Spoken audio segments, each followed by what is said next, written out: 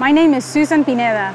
I'm here with Samaritan's Purse responding to the previous storm that hit Honduras through Nicaragua, and we are currently experiencing the effects of that hurricane here in Honduras.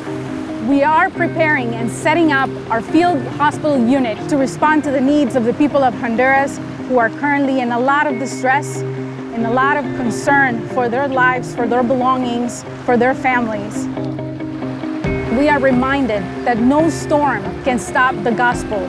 No crisis, no disaster can stop for people to hear the love of God and to know that Jesus loves them profoundly.